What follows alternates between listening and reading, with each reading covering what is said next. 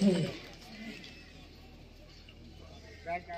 Commanders अपना पूरा ध्यान रखते हुए इस मार्च पास का पूरा ध्यान रखेंगे। इस प्रोग्राम के लिए जो है शुरुआत होने के लिए जा रही है।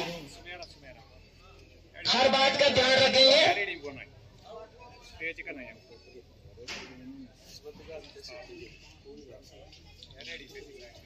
बाकी मार्च पास वाले बच्चे इसके साथ में ही जैसे ही यहाँ पर साफा बांधा जाएगा, फिर उसके बाद में हमारे हाई सेकेंडरी स्कूल की बच्चियाँ जो है, पाँच बच्चियाँ यहाँ पे स्टेज पे आके अपने राष्ट्रगान के लिए तैयार हो जाएगी। और इनके साथ में और सभी लोग नहीं बोलेंगे। कम जितने ग्रुप्स हमारे पास इस वक्त मार्च पास के लिए रेडी है, वो इनके साथ में मिलके इधर इधर आइए, इधर बैठिए इधर आइए इधर इधर बैठेंगे आप।